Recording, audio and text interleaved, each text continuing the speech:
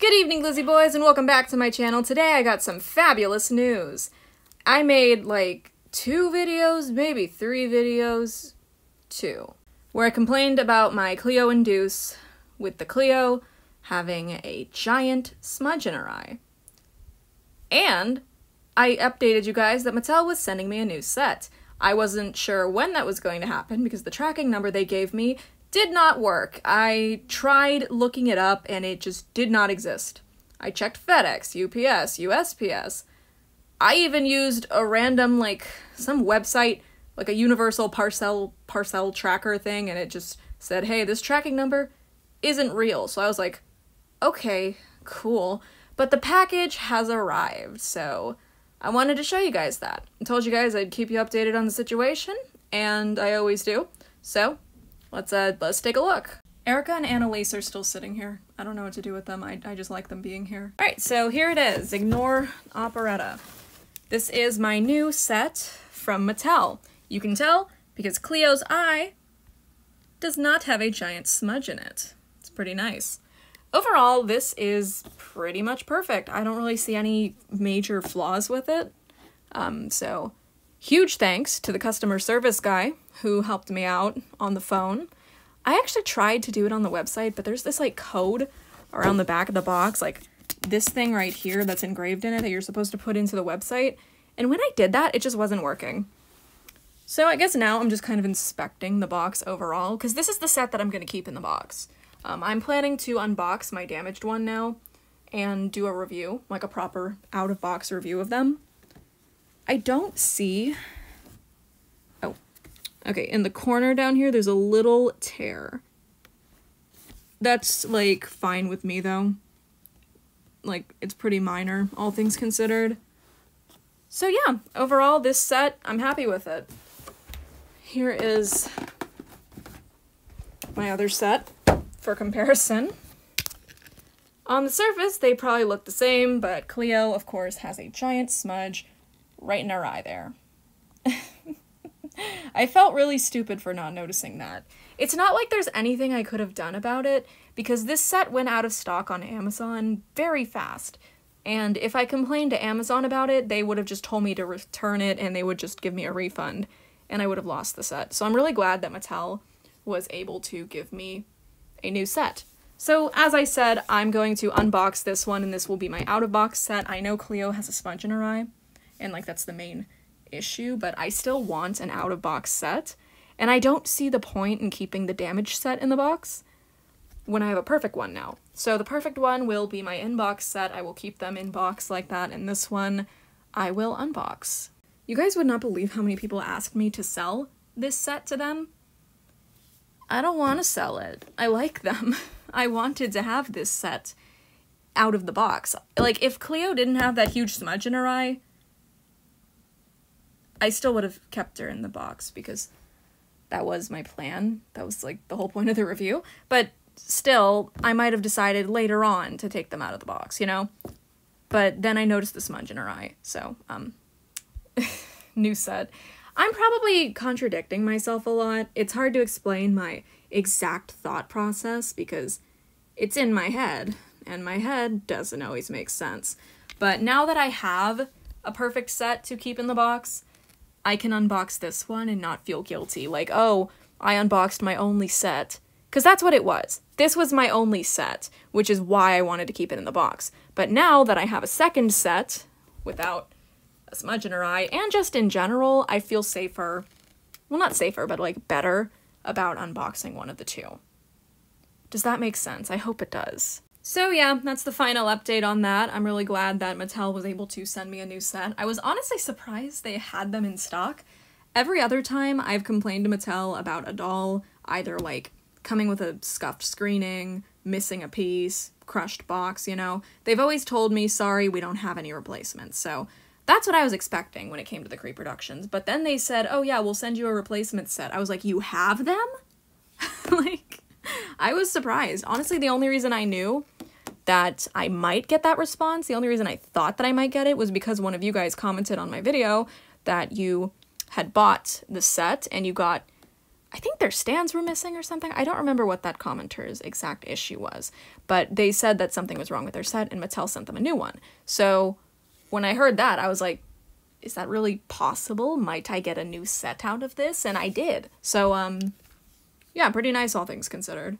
So, all that's left to do now is to put this one away into storage because I don't currently have anywhere I can display it. Though I do also want to show you guys Out of Fright Operetta because I wanted to get her just because every time G they bring back a character in the G1 lineup, I want it. So I decided to get Operetta. I like this doll, though there are a couple things I find off about her. For one, the screening, it's totally wrong and doesn't look very operetta at all, and I get it. In the 1950s, doing blue makeup, just kind of out of nowhere, was a thing. But that doesn't mean this doll needed that. Like, it's a nice nod to the era that her fashion is inspired by, but I just don't think it looks good. They should have just given her like a smoky eye the way most operetta dolls usually have. And I'm really not exaggerating when I say most, almost all of her dolls have very dark makeup. Okay, her basic doll has pretty light makeup, all things considered, but still, it's not blue, you know? Is that all the operettas I have? I can't find another one. This is actually kind of fucking with me. I thought I had more operettas. I know I have Skulltimate Roller Maze. Oh.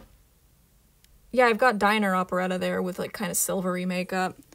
Yeah, Skulltimate Roller Maze is in the back, and her makeup is kind of green, but that's her accent color, so that makes sense. I also have Dance Class, two Dance Class operettas in there, so that's something.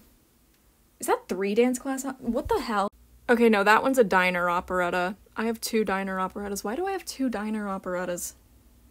The fuck? When did I get the second one? I have Frights Camera Action Operetta up here somewhere. She's in her box. Yeah, there she is, but I can't really reach her because I'm short. You guys get the point though. The blue is just kind of sudden and something they never did with her makeup before, so even if it's a thing from the 50s, I'm just not a fan of it. Her screening in general looks off too. A lot of people have like cried G2 when it comes to this face, but I'm not really seeing G2. I don't know, G2 was a lot worse than this. She's cute. I like the giant curl bangs. I like that her pet, Memphis Long Legs, is up there. That's his name, right? I don't fucking know. She's got these cute hoops. And something I saw somebody do that was really cute, it was um, Girlies and Ghouls on Instagram, was uh, somebody added Tiffany's little um shrug, her little um what the fuck was that thing called? Her little like coat. That little ugly thing she came with, they put it on her, and it actually works on her. It was cute. Also, these are apparently socks, not full on leggings. I saw somebody who had the doll show that off. Another thing that kind of sticks out to me as odd is like I feel like her face and her body are different shades of purple. I don't know. I tilted the camera so you guys could see it without the lens, like without the camera here reflecting off of her. I really feel like her body and her face are different colors. And this how that's how all of them look. I don't know. But yeah, all things considered, I do feel like she's a very solid doll, especially for being a $50 fan club doll. I think they did a lot with her for at the $50 price point. I really like her dress. A lot of people did complain about the like prints on it, and to an extent I get that. But I don't mind it. Like me personally, I don't mind it. And I do like the pencil skirt silhouette for her. It makes sense, it's a 1950s thing. I actually like how much they leaned into the 50s, except for the makeup. I still fucking hate that. Sorry.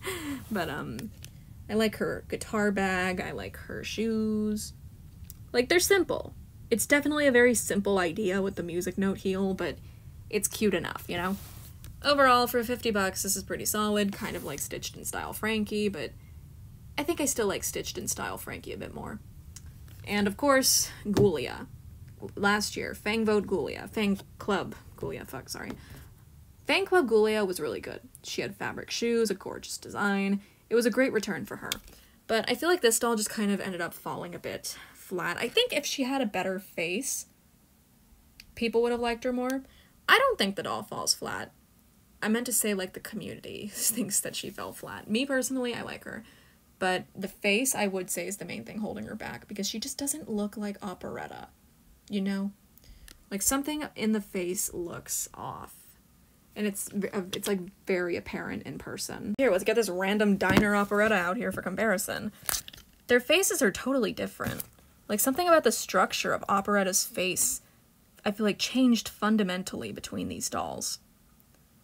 Both the way her like her, the way her eyes are painted is also a big change. She's got like a guitar pick shape in them. I think that's just because that's how G3 does eyes, and it does seem like they're trying to mimic or sort of combine the style of G1's eyes with G3. Like, um, think what Midnight Frankie's eyes look like. It looks very similar to G3. It looks similar to G3 Frankie. Did I cut that part off? I don't know. I my camera glitched. But yeah, I feel like that's the main thing making them look different. Also the lip shape. Operetta has a much larger top lip.